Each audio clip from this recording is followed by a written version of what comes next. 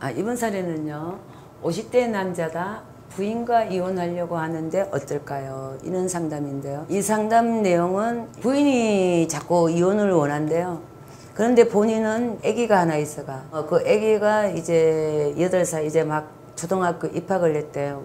딸인데 딱 한 명인데 그 아기가 무척 자기가 아끼고 또 아기가 너무 사랑스러운 아기고 아기를 위해서 지금 우리 50대 중반 나이로 접어들 때는 가정을 위해서 또 자식을 위해서 웬만하면 참고 살면서 서로 서로 참고 살면서 저 자식을 보고 사는 나이인데 자꾸 부인이 이혼을 해달라고 해서 자기도 너무 짜증이 나고 이혼을 할 수 있는가? 이혼을 하면은 앞으로 어떻게 될 것인가?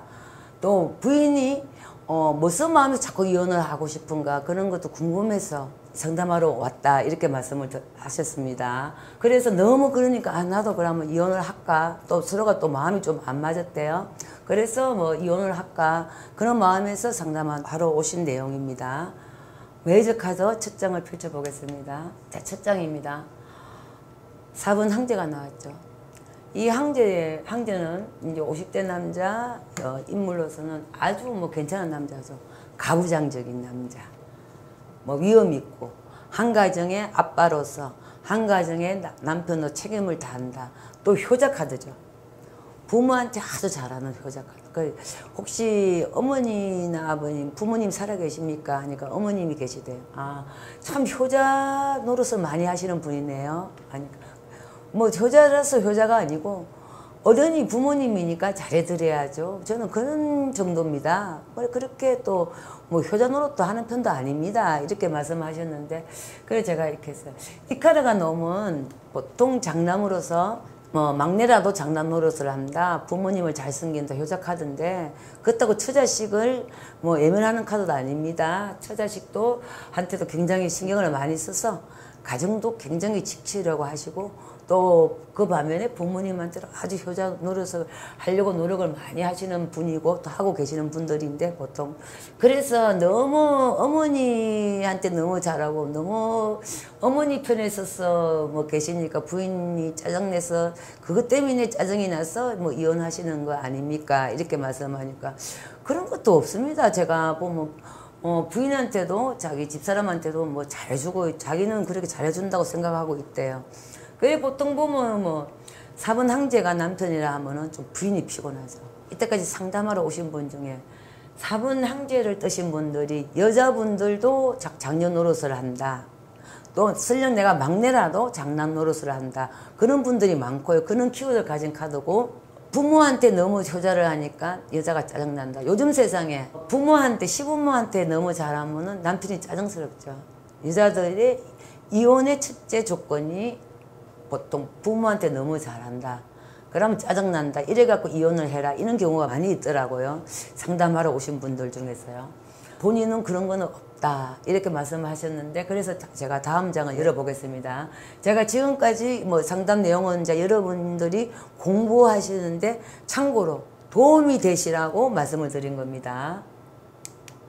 자, 17번 별이 나왔죠. 이 별은 그 부인도 굉장히 어, 성격이 좋고 차분하면서 헌신적인 부인입니다. 그래서 제가 이 말씀을 드렸습니다. 부인도 가정에서 헌신적으로 엄마로서 부인으로서 또 며느리로서 참 잘하고 있네요. 헌신적인 부인이네요. 하니까 맞대요. 두 분이 맞벌이를 한대요. 맞벌이 하면서 참 생활력도 좋고 진짜 가정에 너무 잘한대요. 헌신적이고 좀 어떻게 보면 불쌍한 면도 있대요. 그러면서 뭐 뒷말 안 하시고 뭐 내가 고생을 많이 시키죠 하면서 이렇게 웃으시더라고요. 지금 이까지는 뭐 그렇게 부정적이 아니죠. 긍정적입니다. 마지막 카드를 메이저 마지막 카드 세 번째 장을 이 펼쳐보면요. 6번 연인이 나왔습니다. 그래서 제가 딱 느낌을 받았습니다. 이까지는 상담자, 내담자분한테 말씀을 못 드리죠. 연인 카드 6번. 삼각관계죠. 아, 부인이 혹시 다른 남자가 생겼는가? 어, 애인이 하나 생겼구나. 이거 속으로 생각하면서 또 갈등도 되죠. 그래서 이 분이 자꾸 이혼을 해달라고 하는데 선생님께서는 부인을 봤을 때 참 불쌍하다고 말씀을 하셨기 때문에 헌신적인 여자, 참 괜찮은 부인이고 헌신적이고 괜찮은 부인인데 이혼을 하기 싫은데 자꾸 해달라니까 많은 갈등을 하시네요. 하니까 맞대요. 근데 여기서는 바로 부인한테 혹시 애인이 생겼습니까? 남자가 생겼네요. 이런 말씀은 못 드립니다. 선생님께서 너무 갈등을 많이 하고 계십니다. 또한 부인도 많이 갈등을 하고 계십니다. 이렇게 말씀을 드렸어요. 그러니까 맞대요. 그래서 다음 암장을 올려보겠습니다. 암장은 세 장의 합이죠. 4번, 17번, 6번인데 4 더하기 17은 21이죠. 21에서 6을 더하면 27이 나옵니다. 27번에 암장을 올립니다. 27의 암장은 뭐 20이 단위가 넘어가면 20하고 2가 항상 따라 붙는다고 했죠. 그래서 20하고 2. 27이니까 7이죠. 그래서 합을 내려고 하니까 2 더하기 7은 9다. 자, 선생님께서는 모든 것을 잊고 새로이 부인하고 잘해보려고 새 출발을 하고 우리가 서로가 이 잘못된 것이 있으면 서로가 언론하면서 새로이 한번 출발하자고 이렇게 제안을 하신 적이 있습니까? 하니까 그렇게 수차례 말을 했대요. 또 부인도 노력을 해보겠다. 이렇게 말씀을 하셨대요. 부인도. 그리고 또 어머니도 자꾸만 이 가정이 편치 않으니까 아, 저 자애들이 이혼을 하면 어떻게 될 것인가 걱정을 많이 하고 있대요. 또한 본인도 굉장히 많은 생각을 하고 있죠. 또 어머니가 굉장히 걱정도 많이 하고 있다 이렇게 나왔습니다. 자, 7번 술의 전차. 이 술의 전차의 키워드는 뭐 남자면 끼가 많다 바람끼다.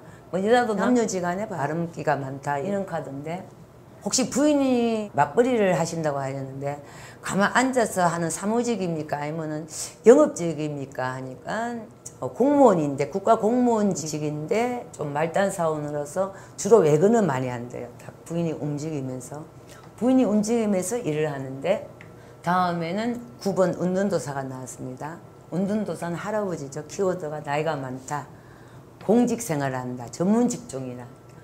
그 여기서는 제가 더 이상 숨기지를 못하겠더라고요. 자, 선생님 혹시 부인이 지금 남자가 생겼습니다. 제가 이 말씀을 처음 맨 나중에 드려야 되는데 이까지는 숨기지 못하겠습니다. 더 이상 해수를 못하겠, 못하겠습니다. 왜냐하면 답이 다 나왔기 때문에 부인이 자꾸 이혼을 원하는 경우는 지금 남자가 있습니다. 하니까 펄쩍 뛰더라고요. 우리 집사람은 어, 남자라고는 나밖에 모르고 남자를 알 수가 없고 내성적이고 또 남자하고 같이 얼굴로 맞대고 커피 한 잔 못 마치는 성격이래요. 그러면서 영업직을 다니면서 자기 할 일만 한대요. 그렇지만 이게 삼각관계가 나왔습니다. 지금 남자가 있는데 그 남자도 인물도 잘생기고 같은 영업직 분야입니다. 움직이니까. 인물도 잘생기고 아주 괜찮은 남자인데 좀 나이가 많습니다. 또 나이가 많고 그 직장의 상사입니다. 제가 그래 말씀했습니다. 직장 상사로 나왔죠.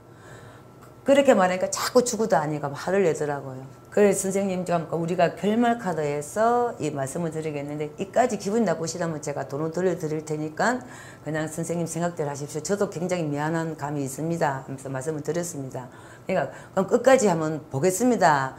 하면서 가만히 혼자 많이 생각을 하시면서 뭔가 조금 안다는 눈치 그런 눈치를 보였습니다. 그래 좀 최근에 좀 이상한 일이 좀 있기는 안 그래도 좀 찝찝한 일이 있었다.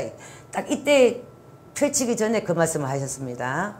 그래서 제가 호로스코프 벨라인 결말 카드를 첫 장을 열면서 설명을 했습니다. 36번 용이 나왔습니다. 굉장히 안 좋죠. 속이 끓죠. 이 부인은 선생님하고 같이 있으면 답답하다. 짜증난다.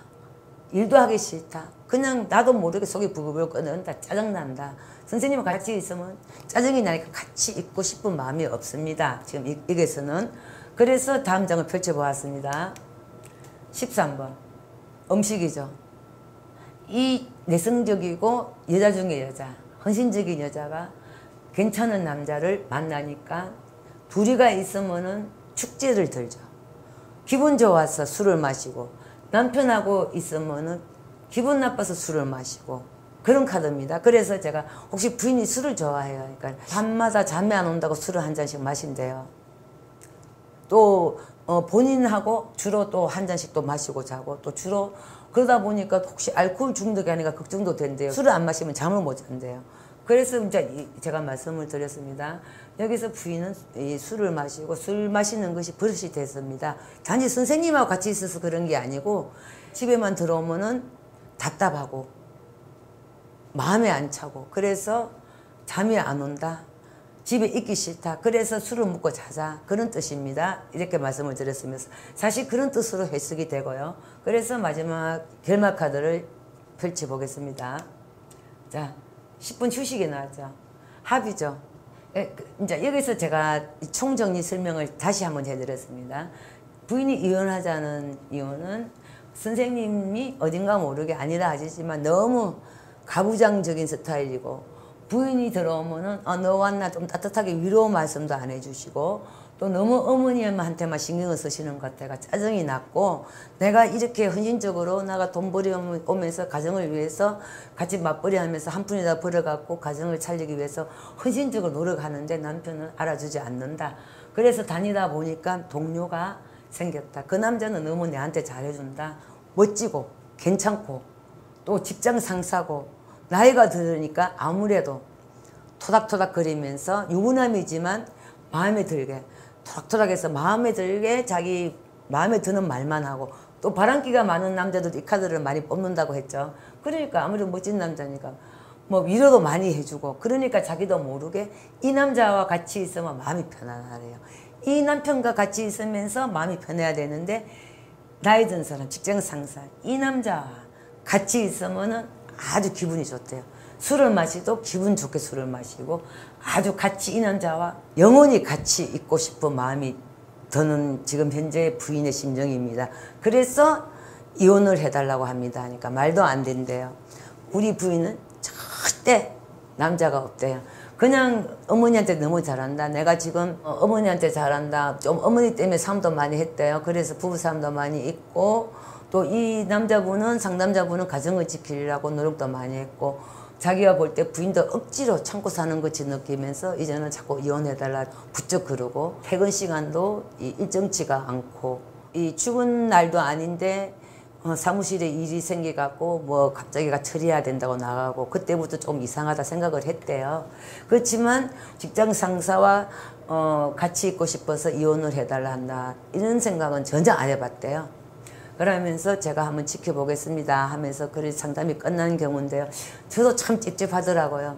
그이 상담 결과가 더 이상 뭐 긍정적으로 좋게 희망과 꿈을 줄 수도 없는 상황이고 왜 이혼해달라 단지 남자가 생겨서 가정에 어머니 때문에 그런 것도 아니고 시어머니 때문에, 때문에 그런 것도 아니고 직장 상사가 남편한테 못 바란 어, 다정한 말 또 다정한 행동 어, 완전 신세계죠 남편한테서 찾아볼 수 없는 매력을 느꼈기 때문에 그 남자한테 푹 빠졌죠.